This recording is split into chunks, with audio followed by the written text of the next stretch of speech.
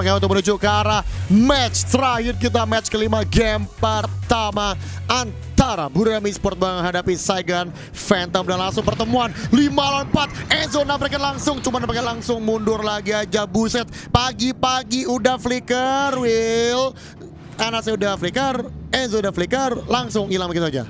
Ya, langsung hilang begitu aja. Jadi kita lihat, oh Enzo bakal langsung menggagalkan. Tapi seperti di sana Enzo tidak bisa berbuat banyak. karena Oh, oh, bang, dadah. bang, bang, bang, KSS mau ke mana yang membuat KSS langsung hilang seketika.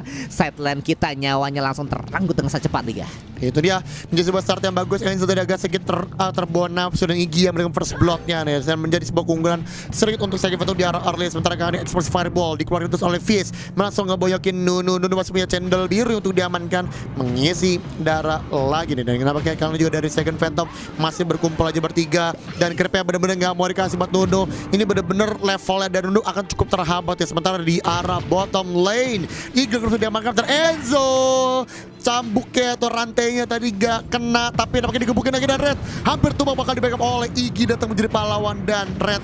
Satu dari Talasnya masih bisa surf tapi Liliana datang. Dan makanya belum nyadar flicker dipakai tapi damage masih belum cukup. Will dan Talas. Masih surf dan bisa recall pulang dengan selamat. Iya, masih belum cukup. Dan untungnya memang di sini satu hanya satu player yang berhasil dihilangkan satu player yang berhasil tergang dari seorang KSSA lagi-lagi ini di Enzo nggak boleh terlalu jumawa Enzo nggak boleh terlalu over PD di sana karena memang meskipun dari segi mobilitas tergolong cepat untuk KSSA plus flicker juga plus bisa mempick off. Tapi di sini kalau misalnya si konnya yang di pick off adalah apalagi memang koa ini malah bisa menjadi senjata makan tuan bang berputar dengan palunya di sana ke depan 5 player.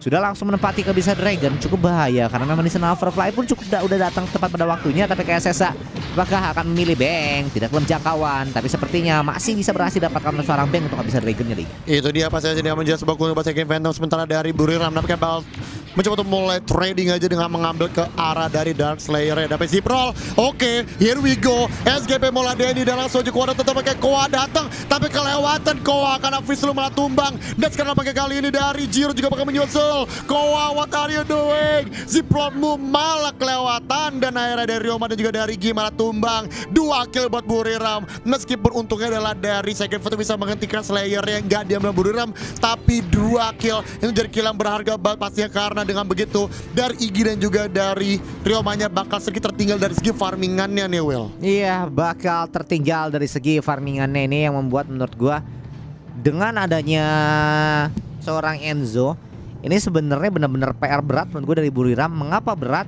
Karena nggak semudah itu untuk untuk lu mengeksekusi di mana hero support dari Second Phantom adalah seorang Koa Plus juga Fizz gue yakin bakal bermain secara behind juga. Menunggu kira-kira tarikan dari seorang KSSA kapan kelarnya sambil bang. Gak di lock apalagi memang ultimate sudah aktif apalagi di sini kesimpannya bang. Gak bisa menahan damage cukup banyak meskipun hanya steel budding coba diaktifkan. Tapi kalau sudah sebanyak itu apalah daya seorang bang di sana Yes, betul banget sini itu menurut juga harus di respect kayak sementara pakai di arah bottom lane. Terus diupayakan bisa ditembusin time masih ada shot yang untuk bisa menghalangi sehingga tower masih bisa selamat. Harus sia-sia sementara sia dan seorang Enzo masih coba menunggu di arah bottom lane. Bersama dengan Violetnya Flash juga udah mulai hadir. Dan kita juga pakai dari Anasnya masih kalem-kalem baik aja nih. Dan secara network juga masih diseimbang banget. Gue dari Second Phantom juga berulang cuma beda 300 gold doang. Tipis banget ke arah dari Second Phantom. Tapi kalau kita perhatikan juga so far datanya juga masih cukup bagus untuk bisa farmingannya dan di late game akan menjadi PR besar untuk Buriram dan Tower di bottom lane bisa diamankan oleh Saigon Phantom. Yap, betul banget. Jadi ya kita lihat aja dengan Second Phantom bisa mengamankan tier pertamanya. Apakah Second Phantom ini menjadi aroma-aroma yang baik untuk Second Phantom di mid phase ya karena memang Ember Gaze. Oh, coba dikeluarkan, bang. Lagi-lagi masih siap farming. Apakah bakal diganggu oleh seorang Omen? Overfly. Bakal coba hanya memantau saja empat player ke mana-mana akan terus berbarengan. Ya gue berharap ya semoga dengan adanya tayang pertama Second Phantom bisa mempertahankan hal itu begitu pun dengan Buriram. Buriram nggak boleh lengah dengan adanya Anas yang terus menerus farming harus ada gangguan yang signifikan agar Anas yang nanti bisa fail sampai mid phase nya liga. Yes, dan kita juga nama kali ini juga meskipun ya dari arah Second Phantom tertinggal dari segi tapi secara network itu juga mereka tidak kalah ya. Mereka masih bisa farming, jadi menurut gue itu masih nggak apa-apa banget sih dari Second Phantom untuk di arah awalnya. Sementara kita hasil talentnya juga dari Violet nih, dari kedua Archer sama-sama udah jadi ke left Santi nih kurang lebih mirip-mirip aja antara kedua Archer. Dan sementara kalau kita melihat juga kali ini dari uh, tim Buriram sendiri ya mereka juga nampaknya uh, kalau kita melihat so far kedua-dua sebenarnya kan butuh anti regen ya karena juga dari Second Phantom ada ada Tara di Buriram juga ada Omen. Cuma nampaknya so far belum ada yang benar-benar bikin anti regen sementara tower di arah top lane juga diamankan sini oleh Second Phantom ditukarkan di arah bottom lane tapi kan juga di arah top lane dari Omen bakal berjaga tapi kalau dengan satu gerobak gak bakal cukup nih Will. Iya, nggak akan cukup apalagi memang di sini sebenarnya tim dari SGP sangat memfokuskan untuk objektif ke SSA juga di sini kebingungan over the world. Bakal coba membuang untuk flicker karena belakang. Ke SSA pun langsung hilang seketika karena memang adanya di mesin nyangkut dari Anasnya. Pada ke SSA yang membuat.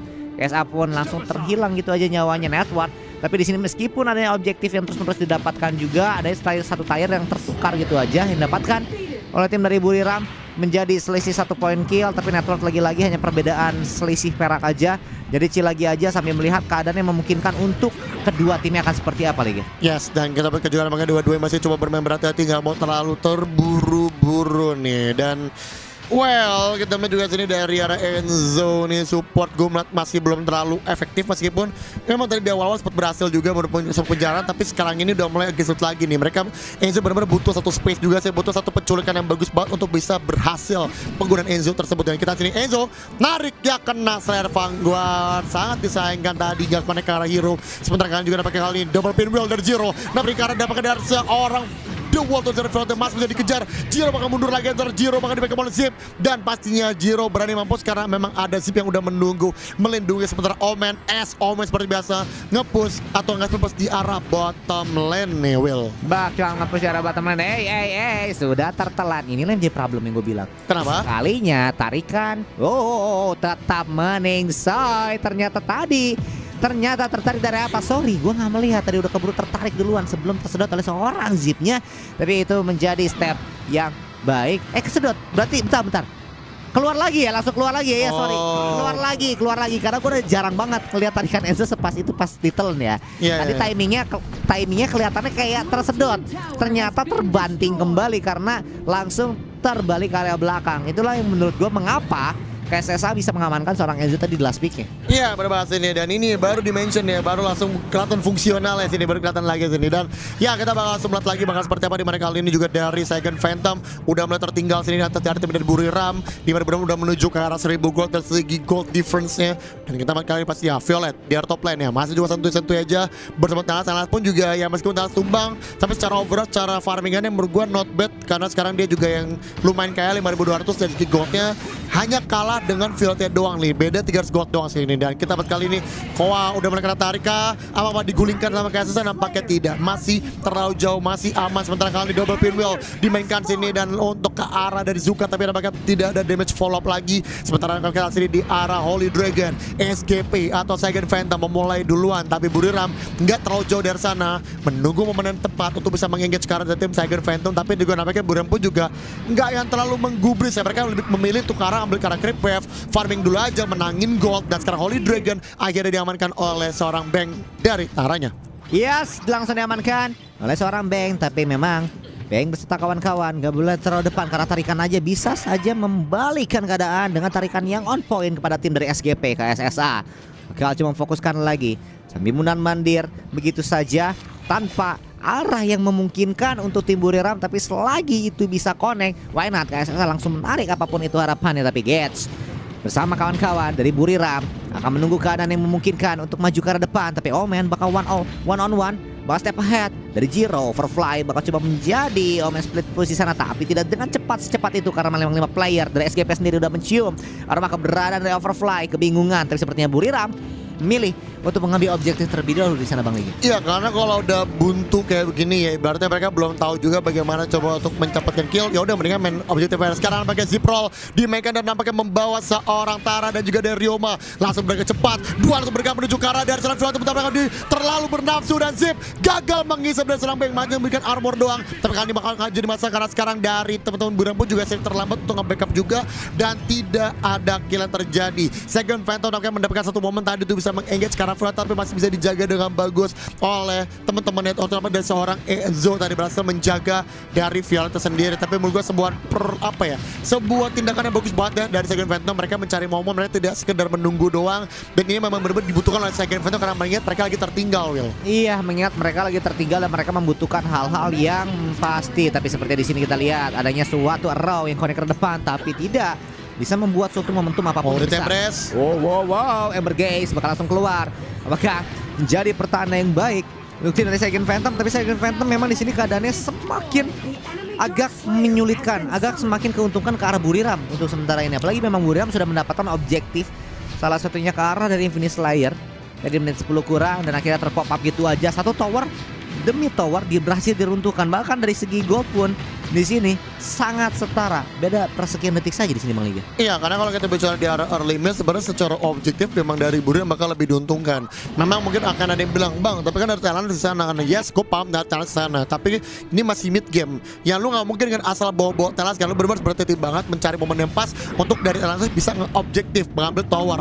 Dan sekarang baru terbukti kan lu kan talent bermain tower di arah bottom lane. Kenapa? Karena Zipe udah ready, Tara yang bakal menjaga di depan dongan, tapi Zukanya bakal trending ngambil ke arah top lane, tapi di arah bawahnya. Tower 13 diamankan dan Dead Embrace tadi berhasil di counter dan Koa tapi masih bisa menyelamatkan dari seorang Telas beraksi dan Overfly. Dan masalah besar masih di oleh seorang Zuka. Dan Gas Search datang membantu dan masih ada Makob Frost dari seorang Koa tapi nggak bertahan lama. Dan bahkan kali ini bang harus tumbang. Dua kill untuk Buriram bahkan mencondong arah tiga. Karena ada Ridwan triple kill dari dan bahkan Telas yang lebih sakit Will. Shutdown untuk Red tapi sekarang Gezer datang mencoba engage ke Telas tapi nampaknya nggak cukup dan here we go Ryoma datang terlambat sudah ada keburu balik tiga tukar tiga tower tiga hancur cuan yang besar buat Segen Phantom Nggak, tapi jujur yang gue bingung kenapa Red meninggalkan teman-temannya begitu aja. Karena menurut gue Red kalau itu ada, itu Red bisa bantu ngeratain lu lihat. Di sini Red udah ketelan sama Koa.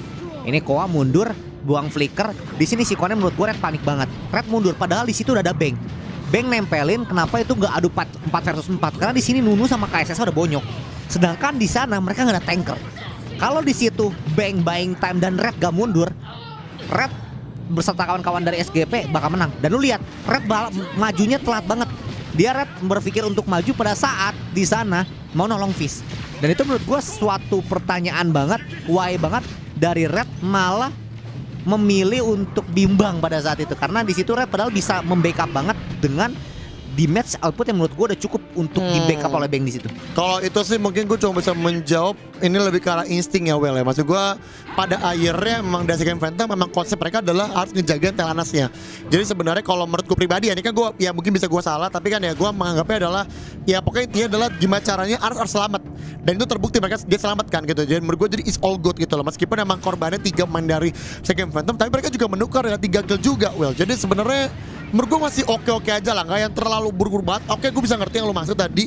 Cuman mungkin emang itu juga di insting gitu. Karena dia tahu ancamannya cukup nyata. Ada Zuka yang nabrakin di depan. Dia khawatir kalau dia terlalu maju dan nafsuan. Zuka yang peringkat dia Skyfall connect tanasnya mati itu bisa bener-bener parah banget buat Segen Phantom. Jadi mungkin itu pertimbangannya kenapa Darat bener-bener main aman. Dan gue rasa juga pasti ada shot call juga Will. Dari uh, rasanya kayak udah lu mundur aja udah aman aja aman aja udah yang penting lu selamat udah that's it gitu. Karena kembali lagi investasi late game dari Segen Phantom ada di tangan dari Anasnya sementara dari bottom lane dan ada satu buah perserangan sini pasti sini ke arah dari Omen. Omen yang digebukin double pinwheel dan langsung meninggal di tangan Red Anas udah mulai jadi udah mulai sakit tapi Buriram bilang bodoh amat gue berkelas dan berhasil diamankan oleh Buriram Esport Iya, langsung diamankan oleh tim dari Buriram. Ya, kita lihat aja apakah dengan tim dari Buriram sudah mengamankan untuk objektif kembali, lagi dan lagi diamankan kembali apakah bisa berdampak besar, apakah akan bisa memberikan suatu peluang karena memang di sini meskipun ada yang objektif yang diambil tower ini tower udah langsung di roll apalagi kita Oh, lihat, Ziprol. Ziprol. Lah, tapi sebenarnya kita lihat terlalu cepat Oh, main berikan oke. langsung ditelan tapi sepertinya Koa harus apakah meningsai karena memang di sana KSS tidak bisa mendapatkan jiwa raga dari seorang Koa meskipun fail tapi untungnya tidak ada satu player pun tertumbang di sana Liga Itu dia sini dan Wow, itu sebuah gerakan yang beresiko banget sih Karena tadi dia midnya juga belum jebol. Meskipun tower bawah udah jebol lah, gue ngerti ya. Cuman tadi dia cuma bawa satu Slayer Vanguard tadi kalau gue gak salah. Artinya creepnya kurang banget sih Dan itu bener aja, dia langsung ke counter kembali. Tapi untungnya dari SGP tidak ada korban jiwa. Itu yang benar-benar jadi satu advantage juga buat dari Second Phantom. Mereka masih bisa selamat ya Tapi menurut gue itu satu momentum ya Satu cara. Karena Second Phantom ya pasti pengen carikan momen itu kan. Mereka gak mau cuma sekedar menunggu doang Gak mau cuma sekedar uh, Gak mau cuma menunggu doang Mau jemput bola juga sini Dan kita kali ini memasuki bentar lagi menit 15 artinya malam bentar lagi telah tiba dan perebutan Dark Lord Slayer bakal menjadi krusial banget untuk di arah game pertama ini. Dan kita bakal melihat pasti kemudian SGP memulai duluan menuju ke Lord Slayer. Tapi kali ini dari Overfly datang menghampiri bersama dengan Gas Search. Zuka mampir tapi langsung di reset aja. SGP bilang nanti dulu gue belum yakin dulu. Kabarin nanti aja pakai kalamin dulu aja lah. Ya, kalemin dulu aja ya. Di sini kita lihat memang tadi terlalu beresiko sih gua kaget juga. Wow, wow, wow, high ground belum hancur.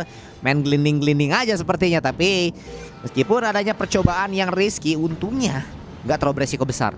Koa berhasil terbackup dengan sangat baik oleh tim dari Second Phantom sendiri. Buriram mengeksekusi pelan-pelan untuk bisa bermundar mandir dulu aja setup udah dilakukan satu step salah aja ini bisa berbahaya menurut gua untuk tim dari SGP karena memang Buriram sudah terlebih dahulu mengamankan keberadaan dari bas yang dimiliki yang di dekat mas gua ini dekat dari DLS nya Overfly bakal coba diam-diam tapi sepertinya SGP Bank agak kewalahan ke SSA diam-diam menghanyutkan. Coba ditarik ulur apalagi memang Bang bakal coba di lock Bang tidak diberikan kesempatan untuk ODS-nya. menyentuh DLS terlalu bahaya dan akhirnya yang bisa mendapatkan untuk DLS di sana cleansing pun digunakan tapi Nunur langsung terteot Uh, rednya tembak, rednya. kepalanya Nunur Rednya. langsung pecah. Oh my kita lihat God. Red terlalu free hit, tapi rednya pun langsung ditukar secara raga tapi kita lihat Red bakal coba mengamuk ke depan Fizz terlalu free hit, tapi ada positioning dari Red yang terbaca oleh tim dari Bro Ram di sana Liga Betul. Nah, ini yang mungkin menjawab tadi keraguan lo Will tadi di mana kali ini Red mencoba kan Red kan mencoba untuk nge-kill tadi kan mencoba kill dan dapatkan kill.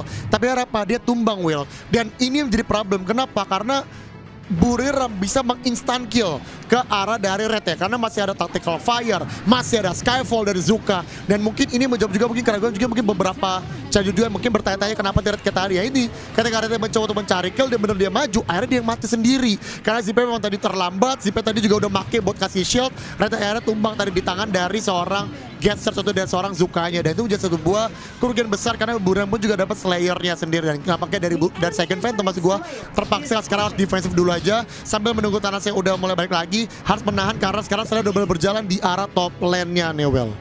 Ya tapi sorry itu saya kalau menurut gua Red terlalu cepat untuk flicker ke arah depan. Mengapa tadi Red mati sikonnya?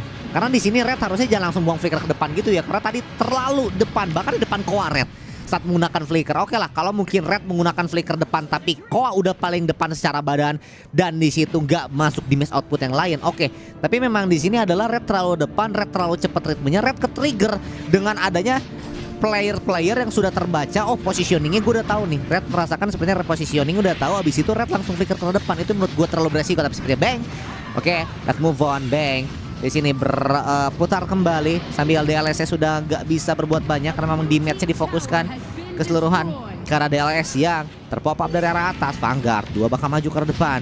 Tapi nggak apa-apa dicicil lagi aja karena memang Red juga di sini sudah sangat jadi sekali Jiro uh, sedikit kewalahan di sini gamenya akan menjadi game yang lama kembali menurut gue di sini Liga. Iya ini ini bakal jadi lama sih karena pertama emang simbang juga. Kedua Red udah menyadari kalau mereka bisa benar oh tapi nampaknya bilang nggak SGP gue mau nabrak lagi sebar satu kampung di bawah dan sekarang nampaknya dari zona Violet. Hilang begitu aja sementara kita hasil sebuah pergerakan. Dan Enzo incaran berikutnya sebenarnya bakal di Zuka yang bakal diubar sampai ke ujung dunia. Di bertahan di tengahnya Omennya SA Omen ngaput jarak mid dan SGP terlambat. Tower 3 bisa dihancurkan dan flicker digunakan. Dan sebuah bait yang sangat luar biasa dari Buram sebenarnya bait sih lebih ke arah momentum dari Omen dia tahu dan pada gugutan war mending komit mid dan mid tower berhasil diamankan oleh Buriram what a tragedy is that meskipun fieldnya tumbang tapi tower tangannya hilang Will Ya, tapi tower tengahnya hilang. Inilah yang menurut gua dari Buriram main kan ya. Mereka bermain dari segi makro objektif menurut gua. Tadi Second Phantom mencoba makro secara team fight. Tapi yang gue rasakan adalah Buriram main secara makro objektif yang membuat Second Phantom akhirnya kecolongan. Tapi seperti kita lihat, oh ada yang gelindingan karena depan. Oh, oh, oh, oh. akhir ini kita lihat Di backdoor Wah, berhasil menjadi satu kosong dan itu menurut gue jauh banget tapi tetap berhasil dipegang oleh tim SGP Liga. Ini dia the real zip moment terjadi di game pertama dan memang itu satu hal yang sebenarnya udah kita nggak terlalu kaget ya karena tadi dia upaya pertama dilakukan dan upaya kedua sekarang kan lagi cuma kali ini udah much better di angle yang lebih enak dan dia membawa banyak creep juga jadi itu menjadi sebuah kemenangan untuk teman-teman dari Saigon, Phantom, Indian, Nice Rebel Omen udah berusaha tapi memang zip